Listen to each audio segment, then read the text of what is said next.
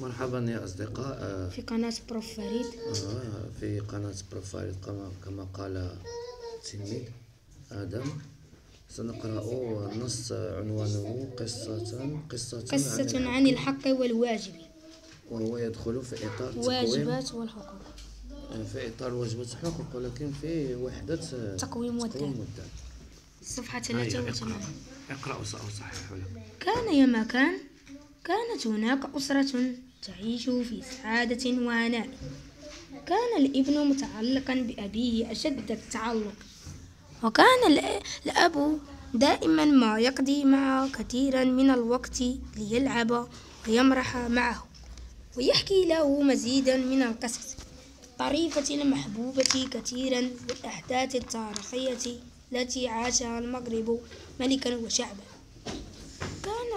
كان كان الأب يعمل في مقاولات وكانت له أسهم يتابعها على الإنترنت بشكل دوري و- لا ولديه تتوقف في الإنترنت لا توجد فاصلة ولديه- أعد قراءة الجملة. على الإنترنت بشكل دوري. كان الأب كان كان الأب يعمل في مقاولات يعمل. يعمل في مقاولات. وكانت له أسهم يتابعها على الإنترنت بشكل وردي. انترنيتي إنترنت بشكل دوري. ولديه كثير من المشاريع والصفقات التي أشغل بأمرها. انشغل انشغل بأمرها. كانت- قراءة الفقرة الأولى والثانية. كان. يا مكان كان يا مكان. كانت هناك أسرة. تعيش في سعادة وهناء.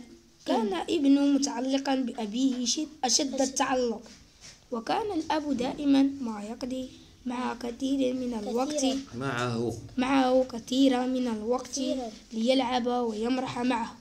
ويحكي له مزيدا من القصص الطريفة المحبوبة كثيرا الطريفة الطريفة المحبوبة كثيرا والأحداث التاريخية التي عاشها المغرب ملكا وشعبا. كان الأب يعمل في مقاولات وكانت له أسهم يتابعها على الإنترنت الإنترنت بشكل دوري. ولديه كثير من المشاريع والصفقات التي انشغل بأمرها. كانت الأم تشارك. صحيح هذا يكفي. إذا ارتكبت بعض الأخطاء خاصة في احترام علامات الترقيم وكذلك في همزة الوصل. لا بد من احترام همزة الوصل. انظر كيف سأقرأ استمع.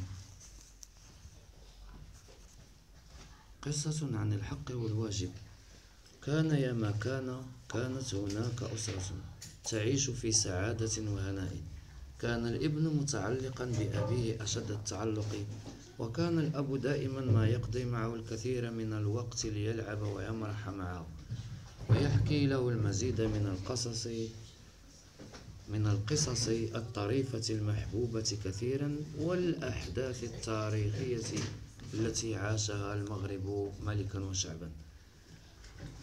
كان الأب يعمل في المقاولات وكانت له أسهم يتابعها على الإنترنت بشكل دوري. ولديه الكثير من المشاريع والصفقات التي انشغل بأمرها. والصفقات التي انشغل بأمرها. آه. اقرأي. قصة عن الحق والواجب. كان يا ما كان كانت هناك أسرة تعيش في سعادة وهناء. كان الابن متعلقا بأبيه أشد التعلق.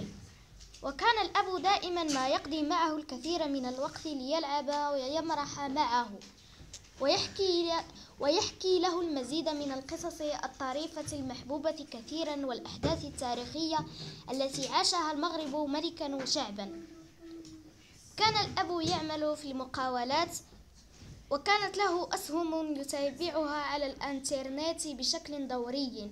ولديه الكثير من المشاريع والصفقات التي انشغل بأمرها. حسن جدا. قراءة جميلة جدا. أحسن مني ومن آدم. حسن جدا. قد ارتكب بعض إلى اللقاء أصدقائي. أتمنى أن تحترموا علامات الترقيم